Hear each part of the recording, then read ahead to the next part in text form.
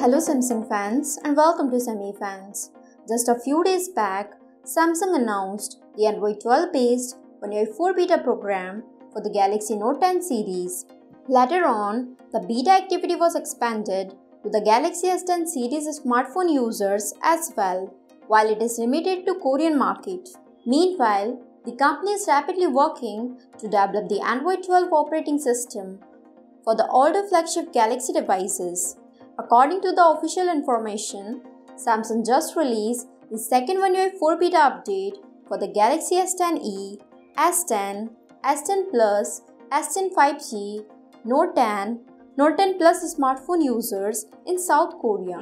The latest software update can be identified through the last four digit of the PDA build number that is ZUL5. The changelog of this new One UI 4 beta update mention fixes to a lot of issues and bugs, while some of the system functions are getting improved as well. So if we go with the second UI 4 beta changelog, the latest update fixes the stuttering issues while scrolling through various functions such as the status bar, quick panel, and messages app. In addition, it brings fixes to the issues in which the background blur effect didn't apply while opening the app or switching to split screen. After upgrading to the ZUL5 build, the problem of squash tab visibility in the secure folder will be solved. Also, the Samsung Music app's auto reset issue while playing the next song will be fixed. In addition, it brings back the Edge panel and MP4 file format support in the video player. So to know more about this update, you can check out the changelog mentioned on the screen.